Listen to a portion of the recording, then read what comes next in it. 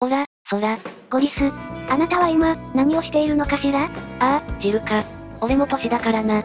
加齢とともに筋力はどうしても衰えてくる。だからといって、筋肉を鍛えない理由にはならないからな。今はライカンどものボスに相当するウリアシュ相手に組み手をしていた。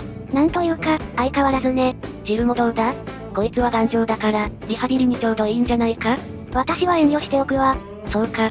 それにしてもバイオには、色々なクリーチャーが登場しているよな。まあ、26年の歴史があるからね。それ相応に敵もいっぱい出てくるわよ。かっこいいクリーチャーだったり、なかなか知ることができない衝撃的な裏設定があったりするから、プレイヤーの中でも好き嫌いが多いよな。可愛いクリーチャーもそれなりにいたわよ。私はリメイクされたガンマをペットにしようか迷っちゃったわ。迷っている間に爆発飛散しちゃったけど。ハンターガンマに可愛い要素あったか？あれはキモい枠だろ。というわけで今回は、ネタクリーチャーを10体紹介していくぜ。ネタクリーチャー？そういえばバイオのクリーチャーで、ネタ枠ってあまり聞かないわね。そうだな。あまり見かけない動画になると思うから、最後まで見てもらえるとありがたいな。それじゃあ、ゆっくりしていってねまずは、このワニからだ。ワニって、普通のワニ？ああ、普通のワニだな。ワニをピックアップしたこと自体がネタってこと？俺はそんな遠回しなことはしないぞジル、考えてもみろ。バイオの世界に出てくるクリーチャーは、ウイルスなどの力で突然変異したか。最初から兵器として開発された BOW だろ。そんな中で、特に何も手が加わっていないワニが強敵なのは面白いだろまあ、そうね。ワニはいろんな作品に出ていて、中には T ウイルスの作用で巨大化した個体もいるけど、その個体も巨大化しただけで、基本的なことはワニと変わりはないからな。私が下水道を通っている時に出会わなくてよかったわ。ベーカー邸近くの湿地に生息しているワニは、特異菌に感染しているのか、体に胞子みたいなのがついているが、それでも基本性能に変わりがないように見えるな。ジルはワニたちに遭遇したことがないからわからないかもしれないが、このワニたちの丸飲みは一撃死だから油断できない存在でな。人によってはタイムアタック中に食べられて、記録が途絶えたなんて話もあるほどなんだ。ワニに食われて死ぬなんてありえないだろって適当にやっていると食べられるのは、ある意味で様式美よね。ああ、ちなみに RE2 に出てくるアリゲーターは、この3年間で850万人のレオンをペロリと平らげているようだな。体重に換算すると、60万トン分太ったらしい。嫌なもぐもぐタイムね。次は、このアクレオットだ。何この可愛い生き物。そうだよな。バイオの世界にしては珍しい存在だよな。アクレオットは金色のハリセンボンみたいな見た目のクリーチャーで、基本的には単独で出現する。というか、アクレオットはリベレーションズに登場するクリーチャーなんだが、ジルは見たことないのか？そうね、キャンペーン中に見かけなかったけど、隠しクリーチャーなのかしら？なるほどな、ジルはレイドモードはやらなかった口か。基本的に私はメインのストーリーしかやらないからね。やっぱりそうか。アクレオットはレイドモード限定のクリーチャーだから、キャンペーンしかやっていないならジルが見かけなかったのも頷ける。可愛い見た目なのも十分なネタ要素だが、この見た目に反して武器耐性が非常に優秀なんだ。裏ボスのゴーストノーマンよりも武器耐性が凄まじくて、銃の攻撃ではほとんどダメージを与えることができないんだ。裏ボス以上なのはすごいわね。電撃グレネードを使えば楽に倒せるんだが、なんかもったいないだろだからほとんどのプレイヤーは、地道にナイフで切りつけていたんじゃないかな。体力が少ないのがせめてもの救いね。次に紹介するのはこいつだ。何こいつ？こいつは見ての通り、ビッグヘッドと言ってな。ダウンロードコンテンツ、バウンドフッテージボリューム2に収録されているミニゲーム、21に登場する敵なんだ。21ということは、ブラックジャック？そうだな。ブラックジャックのように、数字の合計が21になるように目指すゲームなんだが、スペシャルカードという特殊効果があるカードを駆使することで、元になったであろうブラックジャックとは違って、運による要素が少ない戦略性があるゲームなんだ。なるほどね。ゴリスが苦手なゲームというわけね。ジルもそうだが、どうしてみんな俺をバカ扱いしてくるんだ？不本意なんだが。事実じゃない。スターズにいた頃、チーム内でポーカーしていた時に、ブラッドにボロ負けしていたじゃない。あれは運が悪かっただけだ。もう少し続けていたら俺に月が回ってきたものをジルが止めるから、俺が負けたみたいな扱いになっているだけだ。掛け事で落ちぶれる人は、みんな同じことを言うのね。話を戻すが、ビッグヘッドは10人連続で勝ち抜いていくモードの、サバイバルプラス内の7人目か9人目の時に稀に登場する珍客で、必ず登場するわけじゃないんだ。また恥ずかしがり屋なのか、エスケープというスペシャルカードを使って、勝負が決する前に逃げてしまうんだ。ということは、会うことも難しいけど、倒すのはもっと難しいってこと？そうなるな。だがビッグヘッドを倒すことで得られるリワードもあるから、多数のスペシャルカードを駆使してでも倒していきたい相手だな。会えるだけでも運がいいから、ぜひとも会ってみたいものね。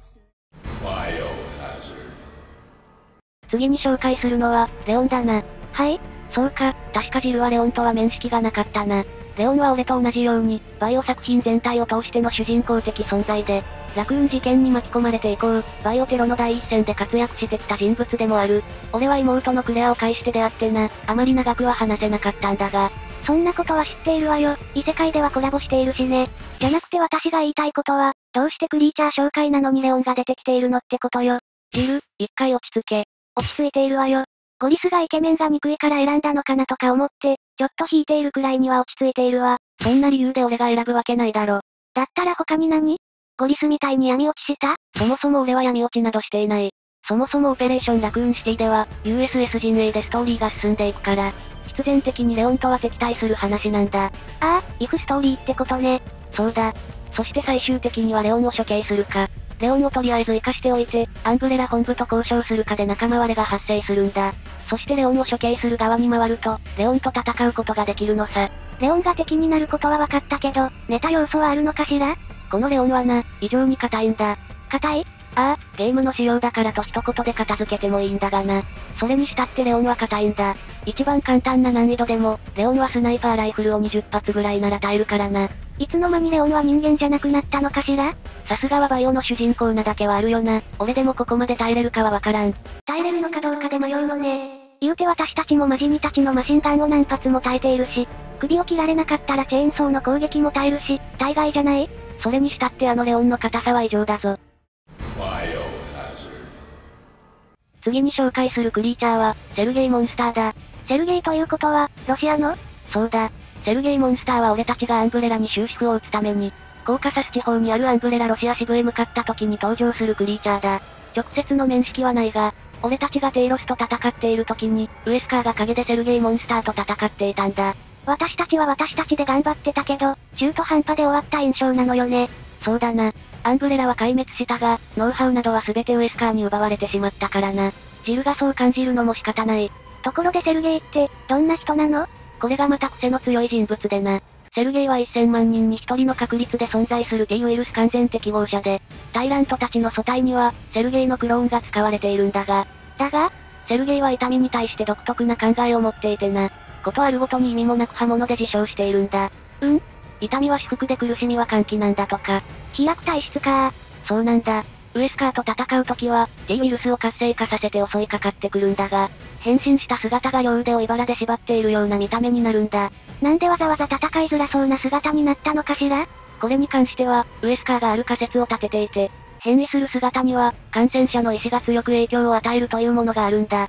ウエスカーが言うには、内なる茨に戒められ、引き裂かれる苦しみの姿だった。奴の奥底に横たわる思念の形に他ならない、らしい。心の底からド M だったという認識で合っているのかしら？どうだろうな。元はソ連の軍人だったらしいから、ソ連崩壊時に脳が破壊されて、性癖がねじれたのかもしれないな。次に紹介するのは、俺もジルも戦ったことがあるこいつだ。サップ？何を言っているんだジル？こいつは巨漢マジニだろう？ああ、そういえばそんな名前だったわね。こいつはマジニたちの中でも優れた体格で身体能力に優れたマジニでな。ショットガンをぶっ放しても一般のマジニと違って転倒せずに、両腕をクロスさせて頭部を守る動作を行うんだ。俺の右ストレートを耐える逸材だな。それは破格ね。道理で私の足技があまり有効じゃないわけだわ。フィジカルに自信があるのか。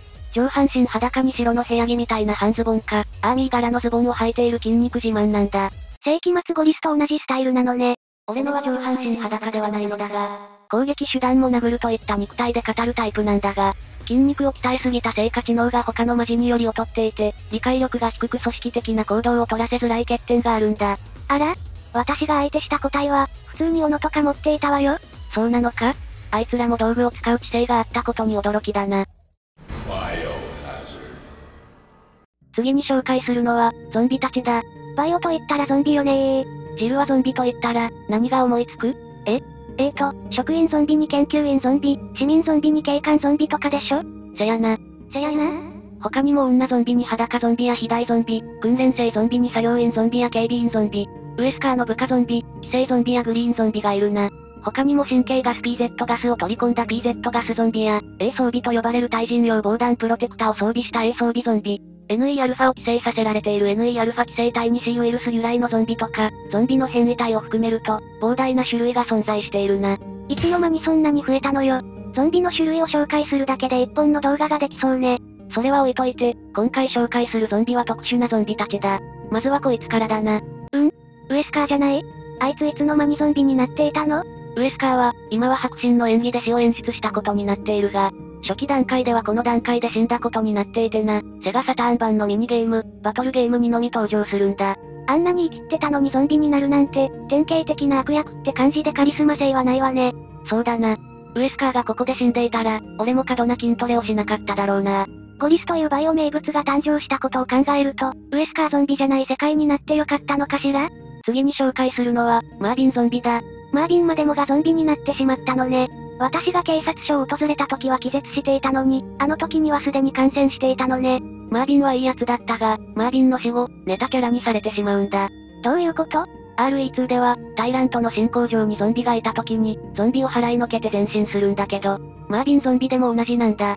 RE2 で出番が増えたことで、マービンが注目されるようになったんだが、逆に注目されすぎたことで、マービンゾンビをタイラントに殴らされ続けてしまったんだ。マービン、かわいそうに。タイラントに殴らせることでマービンを倒すことができるかなんて検証されてしまうくらいには人気キャラになってしまったんだ。RE シリーズで一番飛躍したキャラクターなのかもしれないわね。次は、タイラントたちについてだ。タイラントはどんな意味でネタキャラなの？ところでジルは、タイラントはどういった位置づけの BOW か覚えているか？確か、究極の生命体よね。だから T ウイルスと同じ、暴君を意味するタイラントと名付けられたんでしょ？その通りだ。そんな究極の生命体さんなんだが、究極の出来損ないでもあるんだ。出来損ない？ああ、アークレイ研究所に存在しているタイラントなんだが、マグナム3発で倒せるほど、究極と歌っている割には弱い存在なんだ。ハンドガンでも簡単に倒せちゃうしね。ああ、ナイフでチクチクするだけでも簡単に倒すことができるぞ。とは言っても全部のタイラント系統のクリーチャーが弱いわけではないから、油断は禁物だ。タイラントたちってことは、他にも紹介するタイラントがいるんでしょ？そうだ。もう一体は RE2 に登場したタイラントだ。このタイラントは俺たちが戦った T002 型のデータをもとに、より人型に近づけた量産型のタイラントだな。帽子もかぶっておしゃれに目覚めたしね。おしゃれに目覚めたかどうかはわからないが、タイラントは G ウイルスのダッシュや、生存者の抹殺といった任務があるから、警察署内で遭遇したレオンやクレアを執拗に追いかけ回すんだ。でも、セーフルームには入れないんでしょ？ネメシスみたいに。そうなんだ。ゲームの仕様上仕方ないというか、セーフルームまでストーカーしてきたらクレームの嵐というか。わかったわ。わざとセーフルームの扉を開け閉めして、タイラントのことをプレイヤーが煽るんでしょ？ああ、ジルの言う通り、散々プレイヤーに挑発されてしまい、一気にネタクリーチャーになってしまったんだ。さっき紹介したマービンゾンビとのコンボも相まって、いじられキャラに大変身というわけだな。究極の生命体さん。元気出して。次に紹介するのは、バイオセブンに登場したジャック・ベイカーだ。出たわねファミパン親父。ジル、お前も家族だ。ゴリス、ジャックのファミパンですら強力なのに、ゴリスパンチが当たったら家族になる前に死んでしまうわ。それもそうだな。ジャックについては今節丁寧に説明しなくても、なんとなく面白い部分は伝わるだろ？そうね。体験版の頃からあだ名をつけられるぐらいだし、他にも面白いところは多いぞ。まずは、バイオセブンの中でも印象的なベイカー家の食事シーンからだ。E さんの口には合わなかったが、ベイカー家にとってのご馳走を E さんが吐き出した時は、好き嫌いはいかんぞ、夕食はちゃんと食わないとなと言って、E さんに対してあんしてくれるんだ。いや、あれはあんというか、食事を強要していたような。他にもジャックは E さんと一緒にドライブを楽しむことができるんだ。E さんは嫌がってたけどね。一緒にドライブしないときは、俺が運転してやるって言って、E さんを運転席から追い出した後、E さんの愛車のフロントドアを吹っ飛ばし、ルーフをねじ曲げるといったパワフルスタイルで車を運転するんだ。その時、さっさと逃げた方がいいぞと E さんに忠告しつつ、ジャックはふーふーと楽しそうに声を弾ませながら、狭いガレージ内をドリフトしまくるんだ。その姿は、新たな行動伝説さながらだ。行動じゃなくて私有地だけどね。他にも突然壁を壊して E さんの目の前に登場するサプライズを仕掛けたり、倒れたふりをして E さんに新たなコミュニケーションを仕掛けようとして大事なテーブルを壊しちゃうお茶目を発揮したり、E さんに父親の座をかけたチェーンソーでスマッチを仕掛けたりと、ベーカー家の課長としてプレイヤーに対して、強烈な印象を与えていくんだ。とりあえずゴリスがジャック好きであることは伝わったわ。ちなみにジャックの好物は、生ゴミと砂糖が絶妙なハーモニーを奏でているベーカースペシャルだ。どうしてゴリスはベーカー家の秘伝レシピの味を知っているのかしら？チャックは大食感だからな。誕生日の時にはケーキにチキン、ビールやワイン、シチューにチーズフォンデュ、トムヤンくんにベーカースペシャルと、大量のごちそうを食べていくんだが、腹が減って死にそうだと料理を催促してくる可愛い一面が。ねえ、もしかしてなんだけど。うん？どうしたジル ?E さんが食べさせられかけた特別なごちそうって、もしかしたら。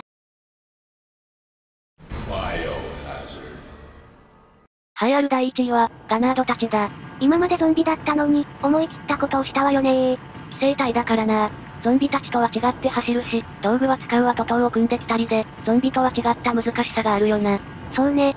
鍛えられているガナードとかは普通に銃撃戦になるし、ゲームとしての難易度が上がったような気がするわ。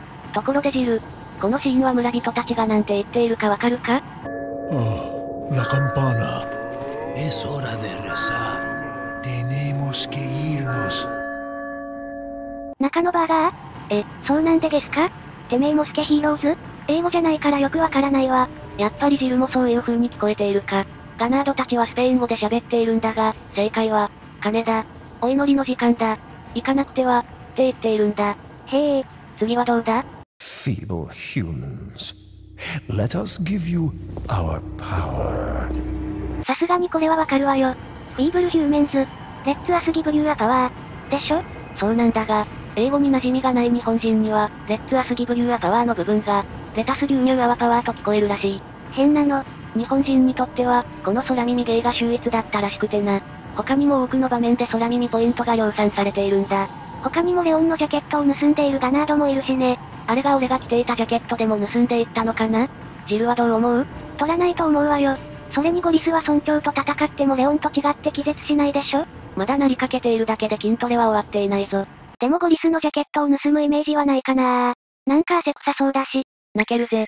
ゴリス、レオンが言うから映えるのであって、ゴリスが言っても狙っているようにしか見えないわよ。やかましい。よし、今回はここまでだ。バイオハザードのネタクリーチャーを紹介してきたが、他に面白いものがあれば、ぜひコメント欄に残してくれ。というわけで、この動画が参考になった、または面白かったという方は、ぜひ高評価、チャンネル登録をよろしくお願いします。それでは最後までご視聴いただき、ありがとうございました。次の動画でまたお会いしましょう。それじゃあ、またね